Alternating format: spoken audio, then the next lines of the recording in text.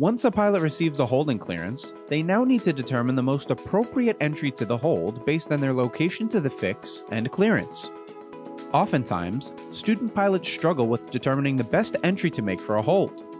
One of the best ways to fix this issue is to better identify circumstances that dictate the hold entry. Here are ways to quickly recognize the best hold entry procedure just by examining the parts of the hold and the airplane's direction of flight to the fix. After the pilot turns the aircraft to the fix and their direction of flight is with the flow, or the same general direction of the inbound leg, the pilot should do a direct entry. If the pilot turns the aircraft to the fix and their direction of flight is against the flow of the inbound leg, the pilot should conduct either a teardrop or parallel entry. To determine which of the two is best, the pilot should visualize the plane flying directly to the fix and then continue past the fix on the same heading. What the pilot crosses next will be used to determine if a teardrop or parallel entry is best. If the pilot were to fly through the fix and intercept the outbound leg, they should conduct a teardrop entry. If the pilot were to fly through the fix into the non-holding area, they should conduct a parallel entry. Once a pilot has this understanding, visualizing a hold on the horizontal situation indicator, or heading indicator, becomes much easier. Here are three examples of how a pilot visualizes a hold with these basic tips on a heading indicator after receiving clearance from air traffic control, and how they conduct the hold according to their hold clearance let's examine three examples of a pilot being assigned a hold from air traffic control, how they determine their leg headings and entry procedures based on the tips earlier in this video, and how they become established on the hold and conduct the assigned hold according to their air traffic control instructions. Example 1. If a pilot was flying southeast along Victor 3 533 at 7,000 feet mean sea level, and air traffic control instructs Epic 500 Hold southwest at Oki on Victor 533, 2 nautical mile legs. Expect further clearance at 1438 Zulu. The pilot would repeat their holding clearance to air traffic control and fly directly to the Oki fix. The pilot would also slow the aircraft to at least 230 knots because they are holding between 6,001 and 14,000 mean sea level, at least 3 minutes prior to reaching Oki. While approaching Oki, the pilot determined that Victor 533 is the Orlando Vortac Radial 049, which will be the inbound leg heading. The outbound leg heading would be the reciprocal of 049, which is 229. With the leg headings figured out, the pilot visualized the hold on their HSI and determined that they should make a teardrop entry because their direct course to the fix is against the flow of the inbound leg. And if they were to fly through the fix, they would cross the outbound leg. Upon reaching Oki, the pilot would turn to a heading of 199, based on teardrop entry procedures. Remember LARS? Fly for one minute, make a standard rate turn to the inbound heading, intercept and track the inbound leg, and notify air traffic control they are established on the hold.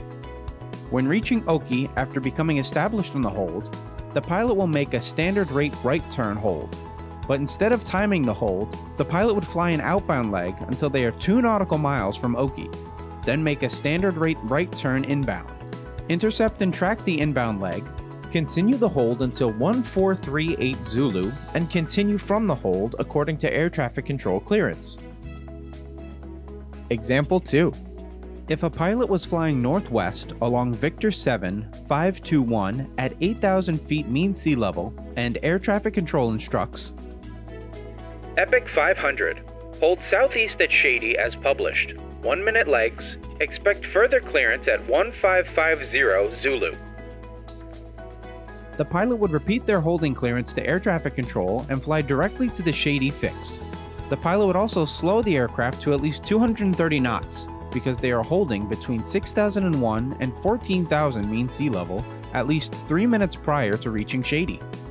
Since the hold at Shady is published, the pilot would need to refer to their en route chart and determine the inbound and outbound headings. The published hold at Shady is along Victor 7 521, which is the 126 radial from the Montgomery Vortac. Since the pilot is flying to the MGM Vortac, their inbound heading for the hold would be the reciprocal of 126, which is 306. While approaching Shady, after the pilot figured out the inbound and outbound headings, they visualized the hold on their HSI and determine that they should make a direct entry since the pilot is flying the same general direction as the inbound leg. When the pilot reaches Shady, the pilot will conduct a direct entry, make a right standard rate turn, fly the outbound leg, make a right standard rate turn, and report that they are established on the hold to air traffic control when they are on the inbound leg, and will conduct a timed right turn hold with 1 minute legs until 1550 Zulu, and continue from the hold according to air traffic control clearance. Example 3. If a pilot was flying southeast along Victor 35 at 4,000 feet mean sea level, and air traffic control instructs Epic 500, hold southwest at Sabi on the 200 radial. Left turns, expect further clearance at 1505 Zulu. The pilot would repeat their holding clearance to air traffic control and fly directly to the Sabi fix. The pilot would also slow the aircraft to at least 200 knots because they are holding below 6,000 feet mean sea level at least 3 minutes prior to reaching Sabi. While approaching Sabi, the pilot figured out the inbound heading is 020 and the outbound heading is 200.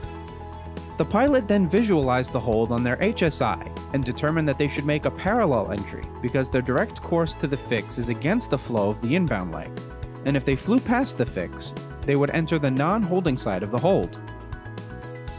When the pilot reaches Sabi, the pilot will conduct a parallel entry by flying the outbound heading 200 for one minute after crossing the fix and turning right to fly back inbound. Remember POTS? Until intercepting the inbound leg 020, report they are established on the hold to air traffic control when they are on the inbound leg, and will conduct a timed left turn hold with 1 minute legs until 1505 Zulu and continue from the hold according to air traffic control clearance. Although hold entries can be difficult to determine at first, using these helpful guidelines and visualizing the hold on the HSI or heading indicator will help lessen a pilot's task saturation and properly enter a hold. Be sure to like our video and subscribe for more epic content. And while you're here, check out some of our more recent videos and playlists.